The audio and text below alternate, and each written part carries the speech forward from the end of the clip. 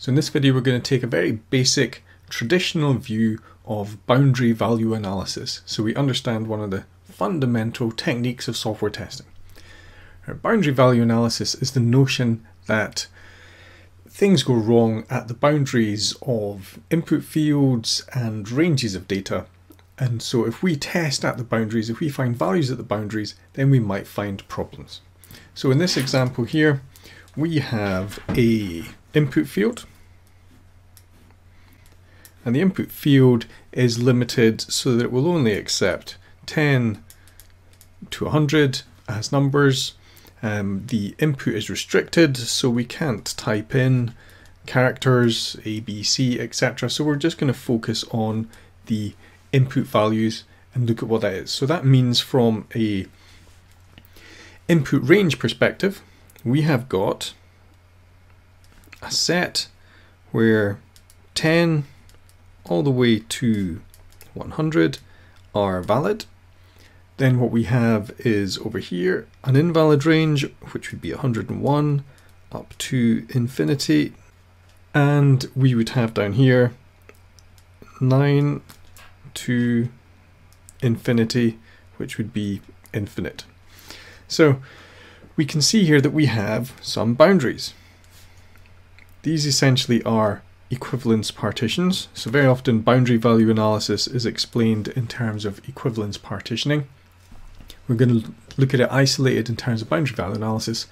So we can see here that at our boundary of 9 and 10 we have a valid value here for 10 and an invalid value here for 9. And here we have 100 and 101. So traditionally, that would be a fairly traditional boundary value analysis. We want something um, in the valid boundary, something on the invalid boundary. So on the valid, something on the invalid, something on the valid, something on the invalid.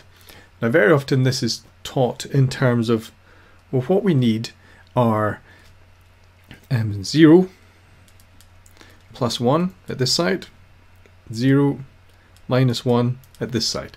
And then some people want to have three values. Would that be threefold boundary value analysis, tertiary value analysis? How do people describe that?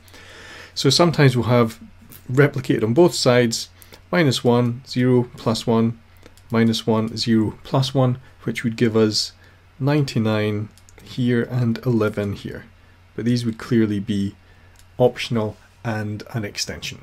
So if I apply those then to this application that I've written, um, here we've limited the input values, so I can't go down to 9. I can type 9,